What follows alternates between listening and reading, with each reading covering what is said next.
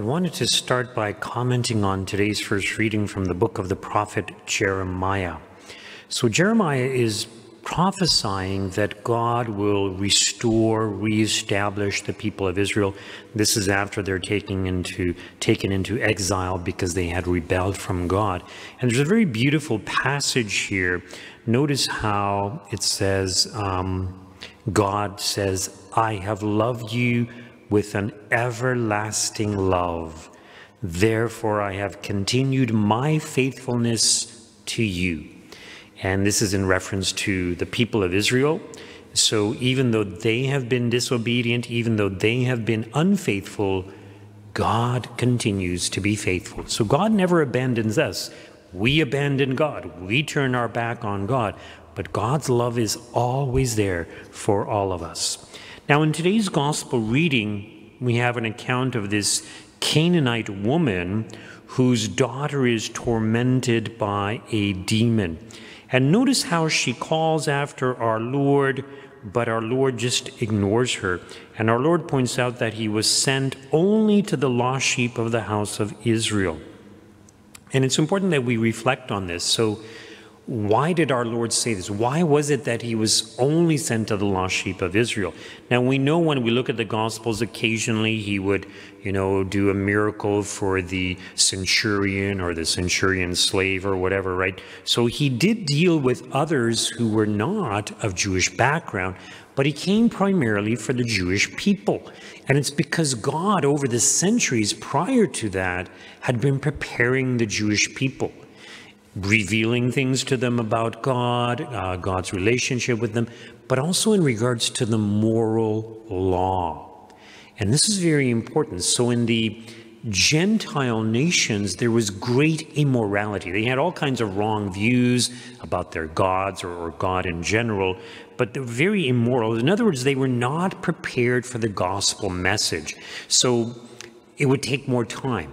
And we see in the early church, even in the letters of St. Paul, he's writing and sometimes addressing some of the immoral practices that were taking place, and some of it which was kind of creeping into the church or the, the communities that St. Paul had founded.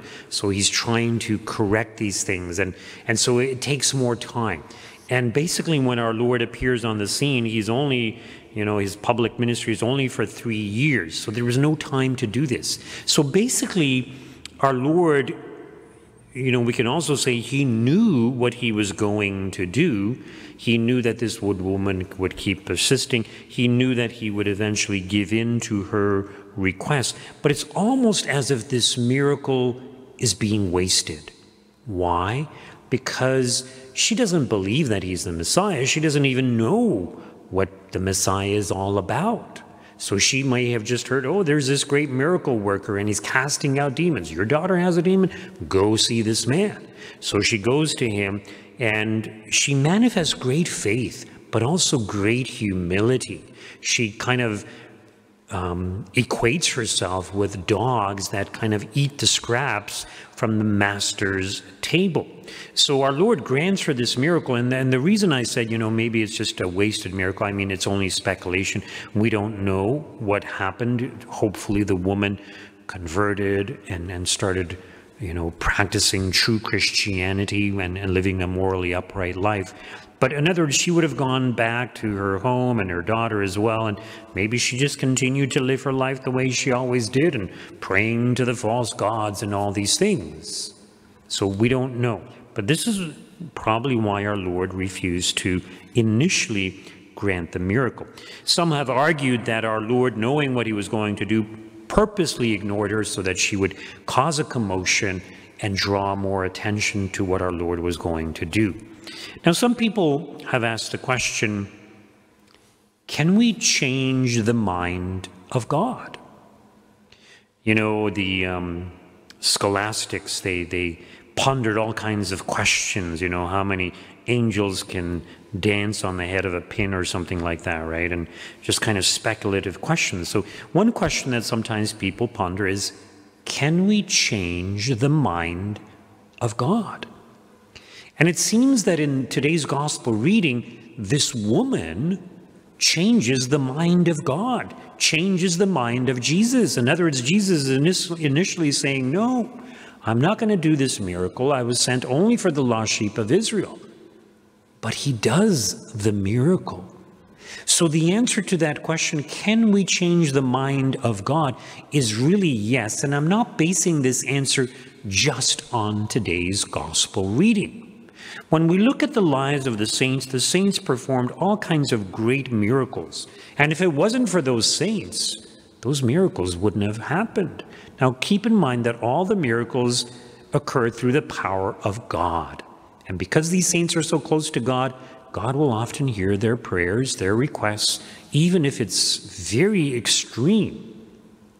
And I wanted to relate to you in, uh, in, regards to one particular saint, Saint Philip Neri, I know a little bit about him because I studied at the oratory, which is, um, you know, what the the um, congregation that Saint Philip Neri established. So we had a lot of readings about Saint Philip, and on a number of occasions in his life, he brought back individuals from the dead. Now, granted, it's not like Lazarus, who was dead for four days. These individuals had just died, but St. Philip prayed, and they came back from the dead. And the point is that when someone dies, that's God's will, that's God's plan. You know, when we die, you know, no matter what circumstances we die under, God is going to give us the grace that we need. And it's really part of God's providence. In other words, when we die will be the best time for us to die. And so we shouldn't fear death. What we need to do when we are dying is to turn to God. But anyways, St. Philip on more than one occasion brought individuals back from the dead. And on one of those occasions, it was a young boy who died, and he was a very good boy. He was a very pious boy. And St. Philip brought him back to life. And later on in his life, St. Philip lamented the fact that he revived this boy and brought him back to life, that he opposed God's will in allowing this boy to die. Why? because as this boy got older, he rebelled against God and died not in a state of grace, but in a, in a state separated from God. So St. Philip regretted that he had asked God to change the course of, of nature in this case. So yes, there are miracles and, you know, it's, it's a very hypothetical question, you know, what does God intend by allowing certain things to happen? And, you know, yes, God knows the miracles that He's going to work, and it's all for the good. And we should realize that whenever we suffer, there's some good that we can draw out from it. God will give us the graces that we need. But the whole point is that if we are as holy as the saints, we have the ability even to change the mind of God. That's incredible. And in the case of this, this woman, this Canaanite woman, well, she's not a great saint, but she persists in her prayer. She prays with great faith, and she's extremely humble. And often what's lacking for us is strong faith, but also and especially humility. We are all prone to pride. If we root it out in one area of our lives, it often pops up in another area, and often we don't even realize it. So if you want your prayers to be effective, more efficacious, more powerful, pray with great faith, pray with persistence, but be humble. Just a brief announcement. Um, this Friday is the first Friday of the month, so after the 7.30 evening Mass, we will have the all-night vigil of adoration once again.